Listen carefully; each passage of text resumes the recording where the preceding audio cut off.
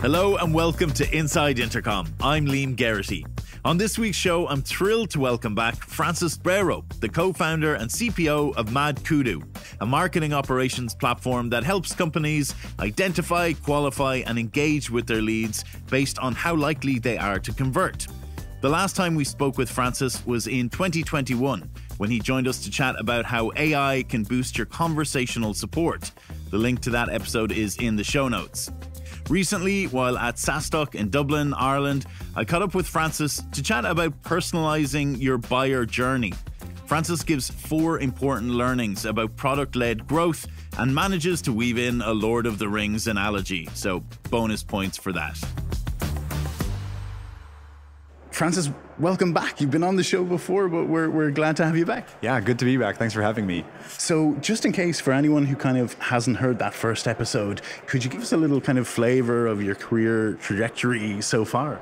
Yeah, absolutely. So, interesting, I guess, background. I started as an engineer. My academic background is in fundamental mathematics. Then I went into the dark side of sales. I was running all things revenue at MadKudu and switched back to run product. So, a bit of a, a combination of all of that. So today, you know, I'd love to talk to you a little bit about like product-led growth from like a blog post that you had done recently. And so you're obviously built a, you know, a leading product-led growth platform for B2B companies. And so in doing that and partnering with PLG companies, can you tell me a little bit about the five-stage methodology that you've developed, you know, in how to scale and monetize a product-led growth? Yeah, absolutely. I mean, at a high level, I'll say the biggest challenges that companies have when they start doing PLG is being a little bit too dogmatic about doing it one way or the other. And one of the big elements that we encourage most companies to think about is that you have different funnels when you're running a PLG business. So you're going to have people that come through inbound, they're going to raise their hand and you want to talk to them regular inbound process. You're gonna have people that you know interact with content, like some great podcasts like this one, webinars, all that kind of goodness. There's people that are gonna sign up for the product, and there are people that you're gonna reach out through outbound. And of course, there are people that are gonna do all of the above, right? And so it's really critical that you start thinking about your go-to-market motions and how they align with the way people want to buy your software. And I think too often PLG companies are going to be really, really deeply focused on this is how we want to sell and we want people to go into the product and like activate the product, get value from it, and then swipe the credit card. And unfortunately, that's not how everyone buys. They're going to, you know, look for education. In some places, we're also selling to B2B, right? So there's going to be people using the product. There's going to be people evaluating the product from outside the product and, and really being able to understand what the typical customer journey is is really critical to make sure that you align your go-to-market engine against that. Otherwise, it's, it's just, yeah, you're, you're forcing your view of how people should buy onto the customer. That's not an optimal experience. And in today's world, what we're seeing is that the companies that win are the companies that are doing the best job at making it easy for people to buy their software. Just because software is getting easier and easier to create. So there's always going to be competition for whatever you do within a short period of time. And so competing and winning on go to market strategies, I think, is now becoming a pretty substantial differentiator. Is it something to be mindful of, like from the get go, you know, or do you think like a lot of people might be in terms of their journey with their business, you know, might not be thinking about it, you know, from the start, but should they?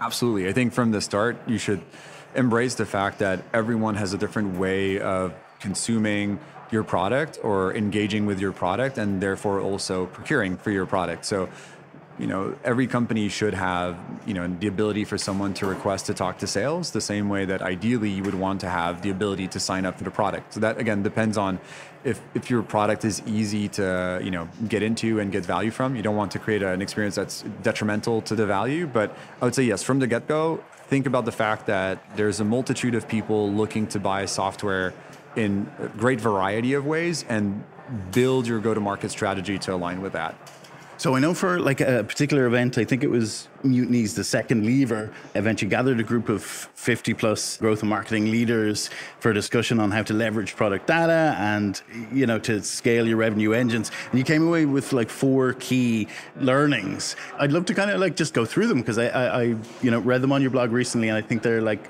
super useful. So like the first one was product led growth doesn't work in a vacuum. Yeah, and that's exactly what we just talked about. It's the fact that you can't think of product led growth as a single funnel way of acquiring and growing customers.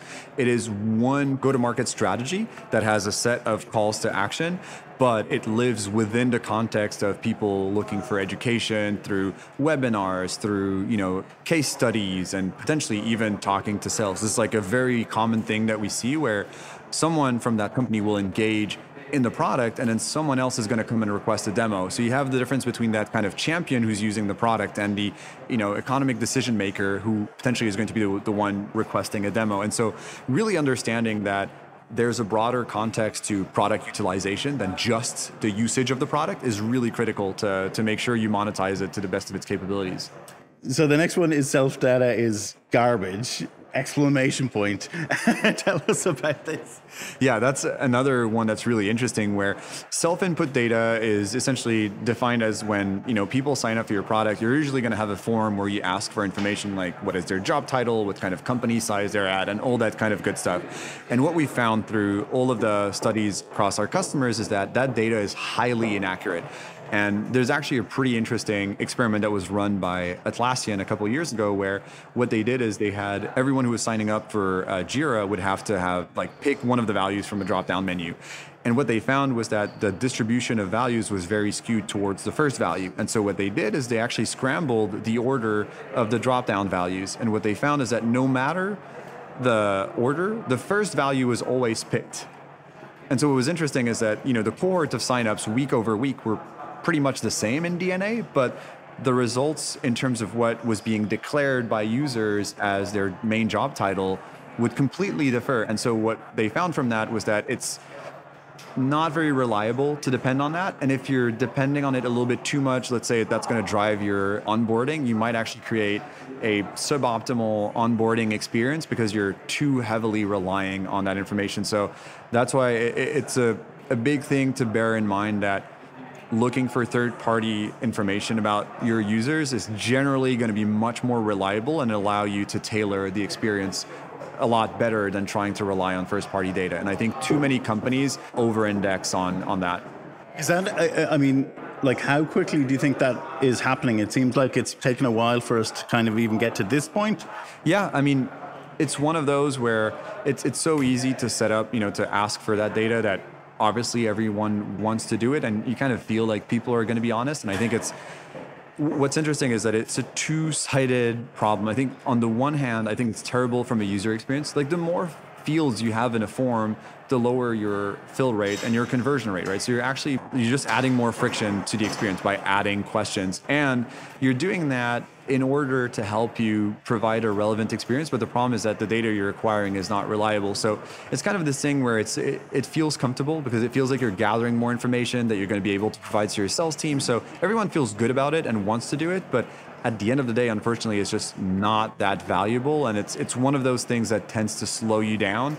And then people are going to ask for more data to compensate for some of the inaccuracies, and then you just like create more and more friction. And unfortunately, it leads to you know you go to some websites and you'll see like the sign up form is going to have like seven, eight, maybe even ten fields to fill in.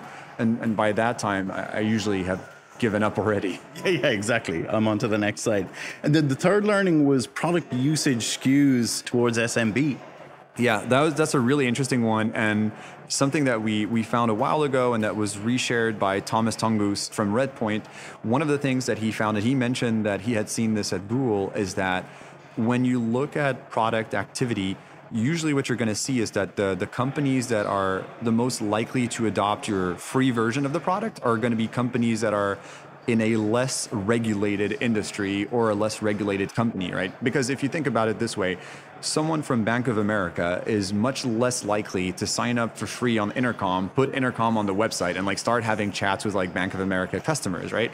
And on the flip side, someone from Uh, you know a smaller company even like a paddle or something like that like they're very likely to be able to add intercom on one of their landing pages and start getting responses and start adopting the product and so what you start seeing is that if you only look for product usage to determine who you want to hand over to sales, you're never going to hand over Bank of America because they're never going to hit that threshold of usage.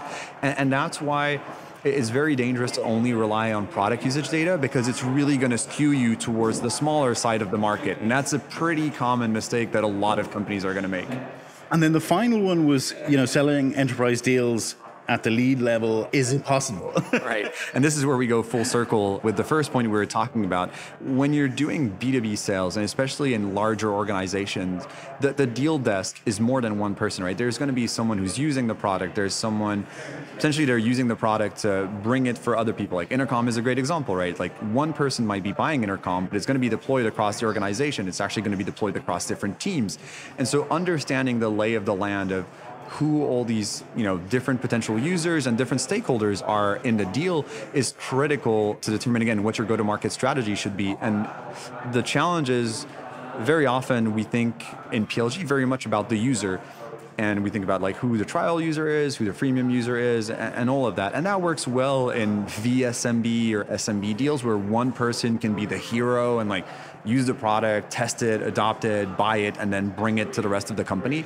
But at larger companies and enterprises, you're usually going to have a lot of different people that you have to convince. And some of those are potentially going to try the product, but a lot of them are going to be like a CFO or procurement style person that might be reading content around like your security standards or like what are case studies from competitors or similar companies in the in the space.